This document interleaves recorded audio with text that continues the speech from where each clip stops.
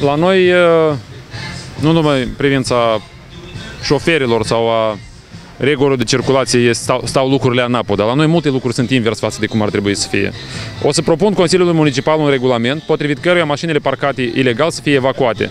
Și atunci o să înceapă un război în Chișinău, în uh, adevăratul sens a cuvântului, în ceea ce privește evacuarea mașinilor uh, parcate și o să fie și scandal și toate celelalte, cum am mai avut și în alte cazuri. Dar este un lucru care trebuie să se întâmple. Lumea, după cum se vede cu obrazul, stă prost. Cam gros obrazul.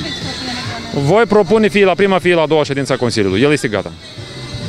Dacă se Dar e nevoie și de modificări de lege, pentru că mă, legea astăzi nu permite evacuarea de mașini. Dar știți cum, votăm cu regulamentul, mergem înainte. Credeți că vă susține autoritățile în adoptarea unui cadru legal? Dar din ce cauză să nu mă susțină? Dacă e vorba despre a schimba lucrurile spre bine, spre fluidizarea traficului și așa mai departe, e necesar.